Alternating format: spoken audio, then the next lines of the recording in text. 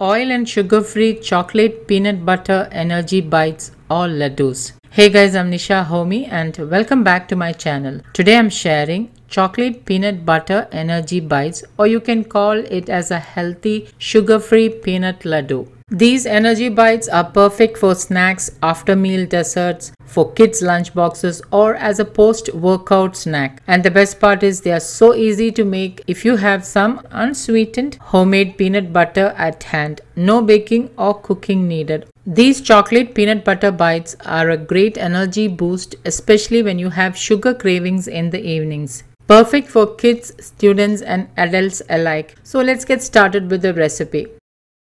Also, I like to mention that on my peanut butter recipe, many of you asked me whether you need to add any extra oil while making peanut butter. I made this peanut butter a couple of days back and even used some from this and wanted to show you the oil oozing out from the homemade peanut butter.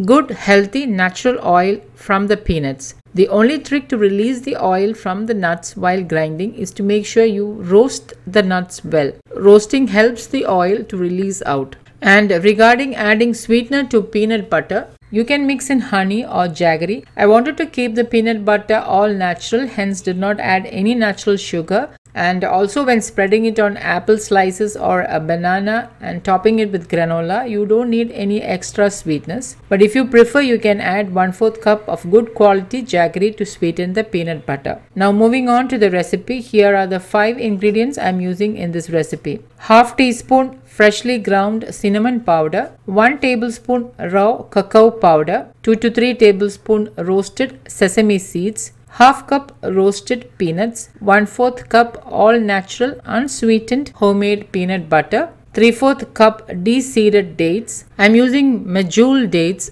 just wanted to show you that medjool dates are very soft and this helps to blend the ingredients really fast. But if you're using ordinary dates, you may need to soak it in water to help the dates become soft. I'm using my wet and dry mixer grinder. You can also use a food processor instead. Now into the mixer grinder, add in the de-seeded dates. See the medjool dates are very very soft.